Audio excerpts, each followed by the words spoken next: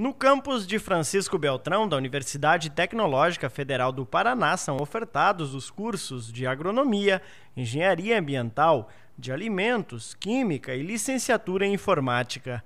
O ano letivo de 2021 iniciou nesta quarta-feira e será remoto até o dia 18 de maio. Os alunos farão acesso às plataformas virtuais da UTFPR e lá é, terão acesso aos conteúdos e assim farão as disciplinas que eles solicitaram matrícula.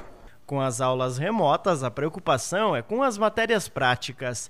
Para isso, a universidade já está adotando medidas para cumprir com a grade. Isso acabou tendo esse, esse delay né, no, no início das aulas, justamente para que os professores se preparassem, se capacitassem para isso.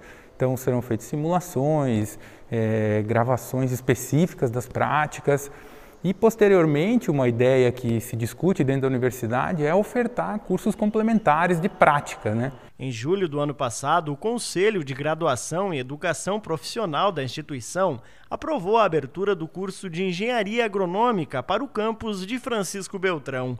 44 vagas foram ofertadas e as aulas iniciariam neste ano, mas por conta da pandemia, a direção optou por atrasar o início. A nossa ideia é iniciar esse curso assim que passar esse período mais turbulento com relação a calendários acadêmicos, com relação a aulas remotas, enfim.